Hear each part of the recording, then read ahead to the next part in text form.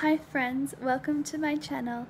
I really this afternoon just felt called to hop on and make a quick video offering some encouragement and support to new mamas who are wanting to breastfeed but are struggling. I know it can be really difficult. It is painful and you can have supply issues and getting them in the right position can be tricky. Sometimes the, the times that they're feeding is all over the place. Cluster feeding can be hard. But if breastfeeding is something that you wanted to do, I just really want to offer some encouragement and say that it does get easier. Uh, my little guy is one month old, and the issues that we were having in the beginning really only lasted a few weeks. So for some people it can last longer so if it is lasting longer for you please don't feel too discouraged. I would really recommend seeing a lactation consultant and just being patient with yourself and your body and your baby. Um, it's such a big thing to get used to and it doesn't come naturally for very many people. Some people it's it's fine and they can get going with it right away, which is great. But for other people, it can be a bit of a challenge. But I just really wanted to encourage you to stick with it. If it's something that you're wanting to do, um, get some help.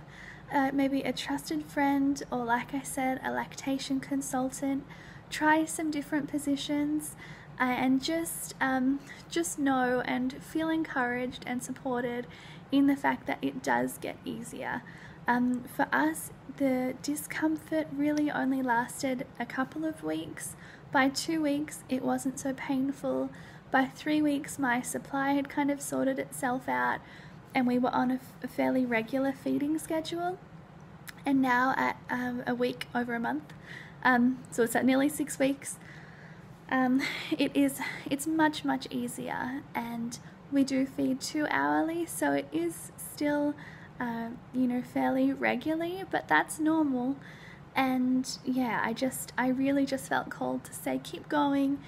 Uh, if the, if it's what you're wanting to do, just have faith and know that it does get easier. Encourage you, just have faith and keep going, keep persevering.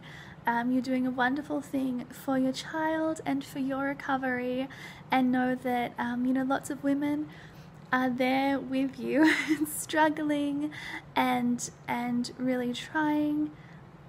And something that my mum said to me with my first child was um, that something that had comforted her when she was nursing through the night. It can be lonely, um, particularly if you're somebody who likes to nurse in private. It can definitely be lonely um, when you're kind of sitting sitting in there by yourself with your baby, of course, but um, you know, but something that my mum said to me was that she always felt so encouraged and so supported thinking about all the women who have come in time before her and sat by themselves at 3 a.m. rocking their baby, nursing their baby, and just knowing how many women had been feeling the way that she was feeling and how many women have pushed through the night and you know done such a wonderful thing for their baby and for themselves and it's just it's a really um, it's a really wonderful thing to do. I think I just said wonderful a thousand times. I was just watching back the video and I wanted to add a little bit extra just to say um, when I was talking about my mum and how she would think about all the women that had come before her. I don't think I really said it clearly, but what I meant was that she felt so encouraged that there were so many um, women who had come before her who were doing exactly as she was doing and probably feeling the same way, and it really made her feel connected to women and to a special kind of sisterhood. And I mean, that's not just breastfeeding, that's all women who are up in the middle of the night feeding and loving on their kids. Um, yes, but it just really always encouraged her and made her feel connected at a time when you can feel kind of lonely. But yes, that's all I wanted to say. I just wanted to say keep going and know that you aren't alone.